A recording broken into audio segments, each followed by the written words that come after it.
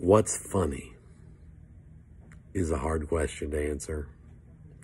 We're going to delve into that, and I'm going to actually ask you uh, to send me this week uh, a clip of something you think is funny.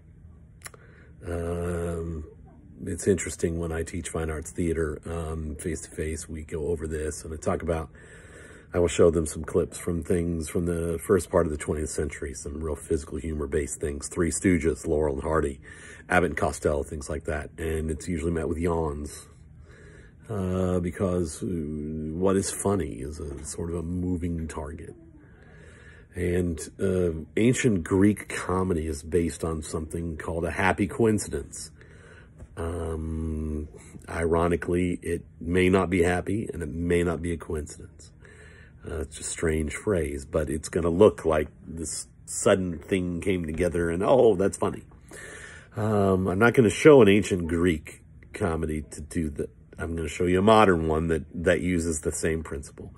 Uh, it's called Arsenic and Old Lace. Now, I'm going to give a preface that uh, if you have Amazon Prime, go get the Cary Grant version. It's included in your Prime membership, um, and you can you can stream that and watch it. That's the better version. I'm going to put a 1962 TV version, which is a good version, but the picture quality is not that great. Uh, but we can access it for free. So there's the there's the uh, there's the benefit for us as a class bottom line, there's a happy coincidence. There's uh, two little old ladies, and they have a big house, and coincidentally, uh, some people come to them to rent rooms. And it's happy because they help them to find their ultimate reward, if you know what I mean.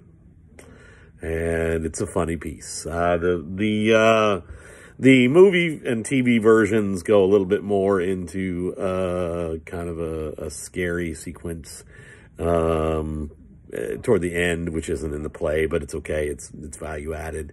Um, and this week we're start the conversation of what makes something funny. What makes something funny?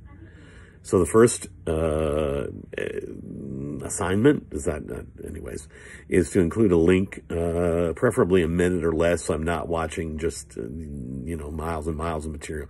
But something you think is funny, it, it's helpful to me as a professor to know those things, and uh, we'll see what you come up with.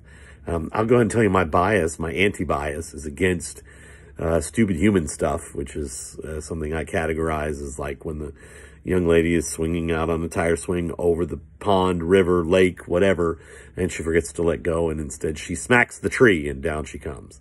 I, I cringe. I find that not funny, although uh, in so many of my classes, students will identify that as humorous. So I guess my question is, uh, what is funny for you? For the ancient Greeks, it was a sign of a happy coincidence. A couple, couple of uh, sweet little old ladies welcome strangers with no families into their homes and give them a drink of elderberry wine. And then their son, who believes he's Teddy Roosevelt, takes them down to the basement and buries them in the canal.